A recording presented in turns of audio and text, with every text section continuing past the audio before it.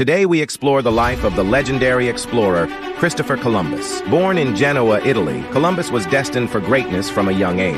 In 1492, Columbus approached Queen Isabella of Spain with a proposal to find a westward route to Asia. On August 3, 1492, Columbus and his crew set sail into the unknown with three small ships, the Santa Maria, Pinta, and Nina. Enduring storms, doubts, and a crew on the brink of mutiny, Columbus pressed on and finally made landfall in present-day Bahamas on October 12, 1492. As Columbus and his crew set foot on the sandy shores, they were met by the indigenous people with their vibrant clothing and unique customs. As an effort to establish friendly relations, Columbus presented gifts to the leaders of the indigenous communities. As the days passed, tensions rose, fueled by the vast cultural differences, leading to moments of uncertainty.